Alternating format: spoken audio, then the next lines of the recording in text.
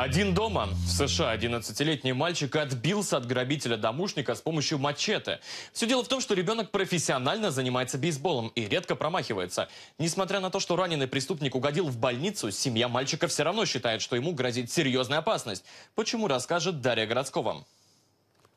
Я прятался за своей дверью. Я не отвечал на стук. 11-летнего Брейдена Смита в США в последние дни в шутку называют другим именем – Кевин. Как героя известной кинокомедии, где ребенок, оставшись дома один, противостоит вооруженным грабителям.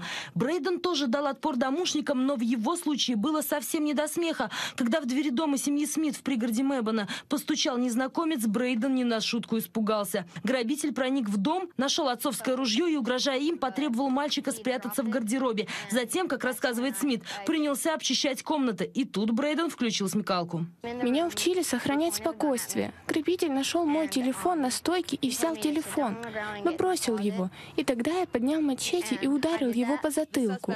И если бы я ничего не сделал с этим, он бы взял меня с собой.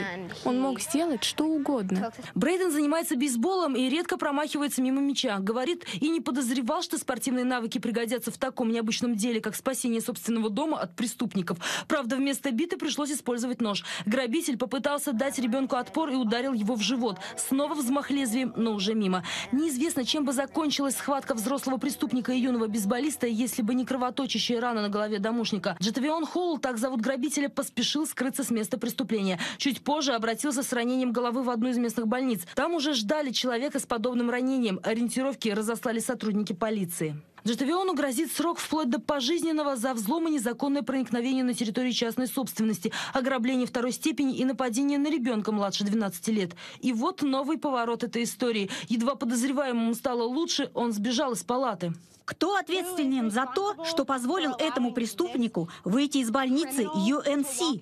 Мы хотим знать, кто это, и мы хотим, чтобы кто-то взял на себя ответственность. Примечательно, что полицейские обвиняют в произошедшем медиков. Якобы те не предупредили, что грабитель поправился. Врачи же выступили в ответ с официальным заявлением.